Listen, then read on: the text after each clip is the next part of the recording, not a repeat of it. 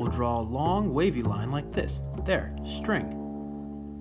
Well, wind is invisible, but we can draw these long swirled lines. There. A diamond is four diagonal lines. There,